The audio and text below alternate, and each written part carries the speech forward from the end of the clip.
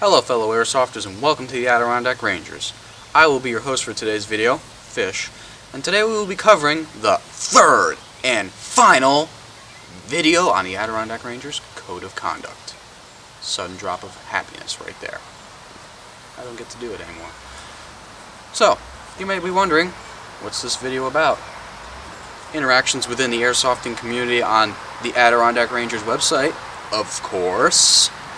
Sillies. Anyways,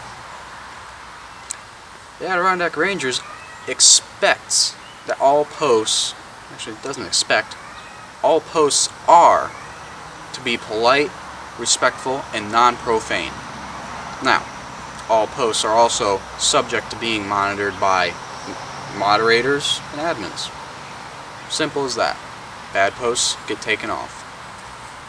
So, with that, the Adirondack Rangers invites you, a member of the airsofting community, a gallant knight in our great push forward, to join us on the blogs or the forums or even our instant chat on every page of our website.